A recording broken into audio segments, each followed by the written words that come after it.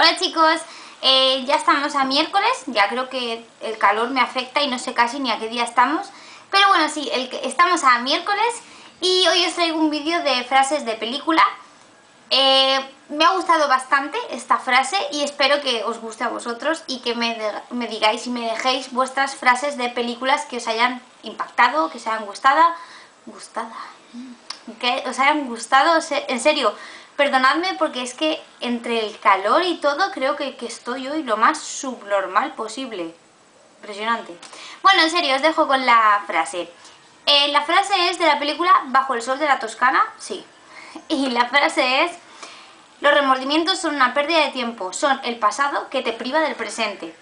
Eh, os doy mi punto de vista sobre la frase, o sea, creo que tiene muchísima, muchísima razón, porque es verdad que muchas veces estamos más pendientes de las cosas que no hicimos o que no sabemos si hicimos bien y que digamos nos remuerden la conciencia de pensar qué hubiese pasado si hubiese elegido este camino en vez del otro, qué hubiese pasado si no hubiese hecho esto, eh, qué hubiese pasado si... Entonces nos ponemos muchas veces estos qué pasaría si, qué hubiese pasado si, y, no llegamos a, estar disfrutando de lo que nos pasa en este momento. O sea, eh, siempre pensamos eh, que las cosas las podríamos haber hecho mejor o bueno, o no tan mal, digamos, eh, cuando en nuestro pasado nos hemos equivocado en algo.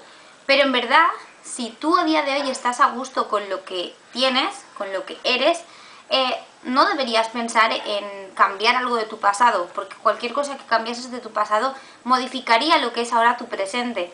Y a lo mejor tu presente no sería como es en este momento y no, no sé, no vivirías este momento.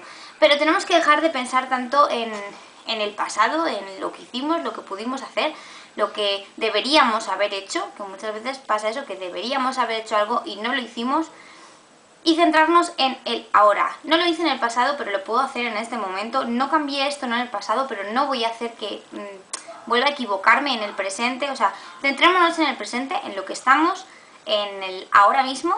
Y como muchas veces se dice, eh, carpe diem, vive el momento, vive el ahora, el instante, y vívelo lo mejor posible.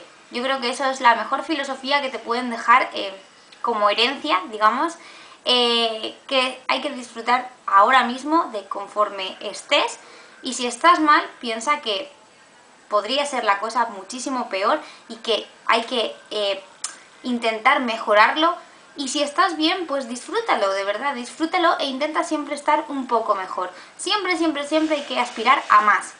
Y nada chicos, espero que os haya gustado el vídeo. Si os gusta darle like, si no os ha gustado pues a los leones. Si queréis compartirlo por las redes sociales, pues compartirlo. Y si os ha gustado y queréis suscribiros, hay un botón que pone suscribirse, le dais, que somos 406 y seremos uno más. Muchas, muchas gracias y hasta luego.